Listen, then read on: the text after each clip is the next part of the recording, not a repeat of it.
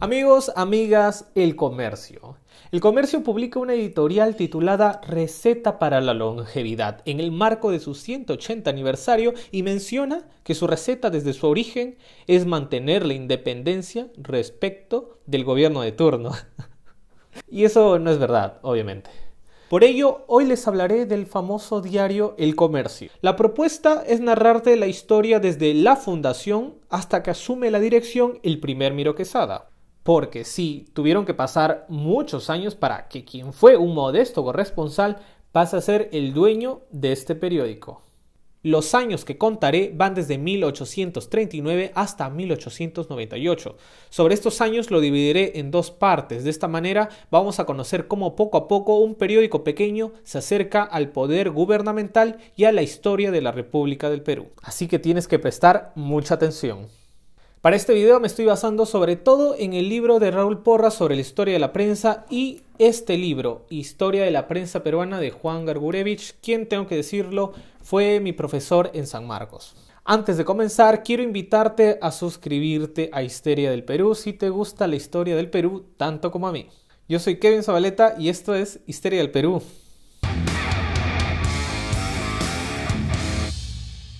Entendamos el contexto primero. Se estaba viviendo en el país el surgimiento de la República. Eran tiempos de pugnas de los militares en el poder.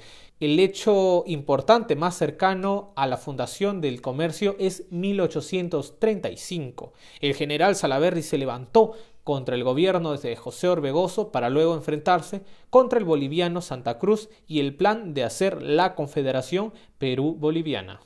En ese contexto nace el comercio, en Lima, pero tengan en cuenta que circulaban varios periódicos en ese entonces.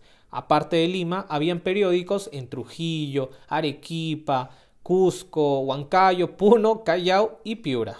El comercio saca su primer ejemplar el 4 de mayo de 1839 con el lema Orden, Libertad y Saber y fue fundada por el chileno Manuel Amunátegui y el argentino Alejandro Villota. El primero era un realista chileno que llegó a Lima luego de ser parte del ejército que liquidó la Confederación Peruano-Boliviana. Sucede que Chile le declaró la guerra a dicha confederación.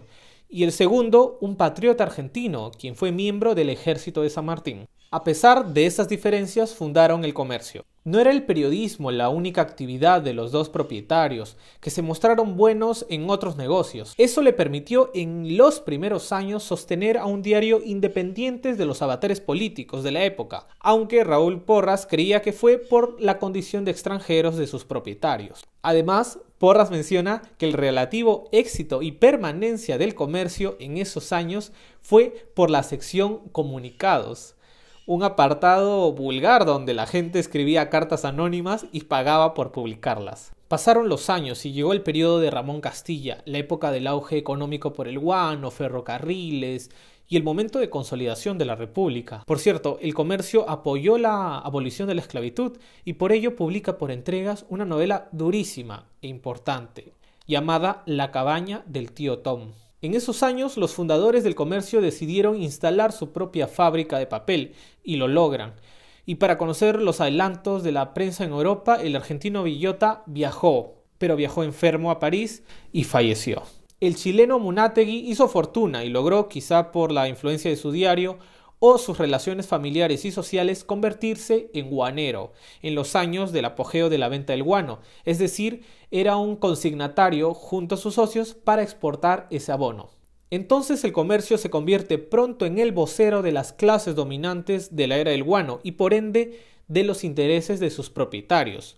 Como se imaginan, Amunátegui se volvió en parte de la florinata de la sociedad aristocrática limeña.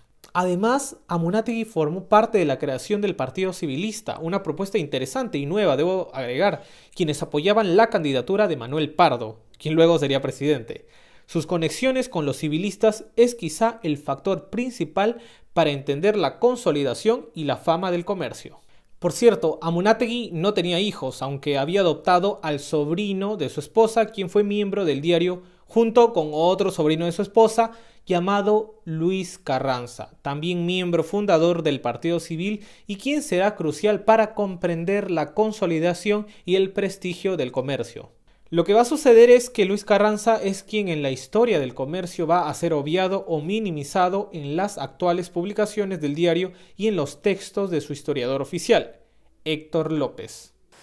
Por ejemplo, aquí tengo la edición conmemorativa del 175 aniversario del comercio. Manuel Amunátegui le entrega la dirección del diario a don José Antonio Meroquesada, quien contaba con 30 años de edad. Al poco tiempo fue copropietario y luego propietario único. No hay ninguna mención de Carranza aquí, ninguna. Sin embargo, en la página web del comercio sí vamos a encontrar el nombre de Carranza el nombre de José Antonio justamente en los años que estoy mencionando. Bueno, la etapa de codirección de Carranza y José Antonio Miroquesada inicia.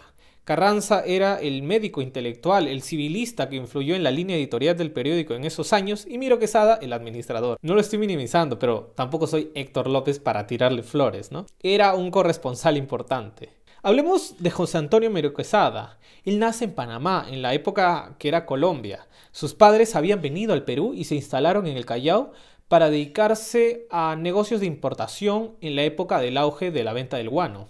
Una curiosidad, el apellido Miró Quesada se vuelve compuesto desde él, desde José Antonio Miró Quesada, quien podría ser considerado el gran patriarca de la familia del comercio.